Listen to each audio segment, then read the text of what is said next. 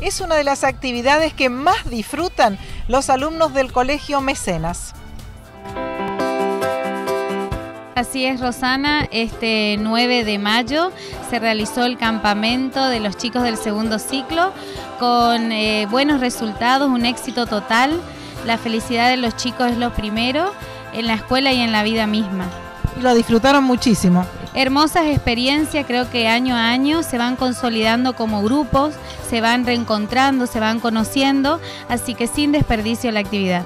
Profe, ¿cuánto duró esto y qué actividades hicieron? Bien, las actividades, como te contaba recién la señora directora, se llevaron a cabo un día viernes durante toda la jornada y para el sábado de la mañana ya nos estábamos retornando hacia el colegio, ¿sí?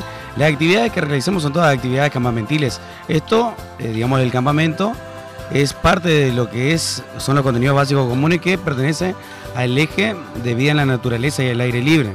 ¿sí? Estos son contenidos de puramente de educación física.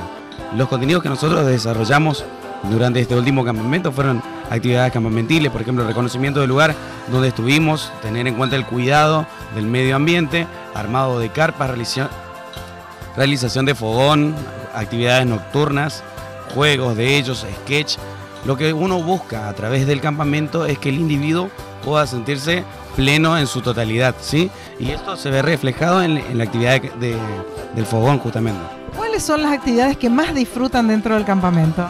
En este campamento en particular, las actividades que más disfrutaron fueron los, juegos nocturnos y el fogón. Sí, que es justamente lo, lo, que yo te digo, es algo muy emotivo donde los chicos pueden mostrarle en realidad lo, cómo se sienten ellos y cómo son. Y lo transmitieron en frente de todos sus compañeros. ¿Repiten el fogón o lo hacen una sola vez al año en cada ciclo? Eh, una sola vez en cada, año. Cada fogón eh, representa un ciclo. En ese fogón los chicos eh, ponen de manifiesto sus emociones que sienten en ese momento.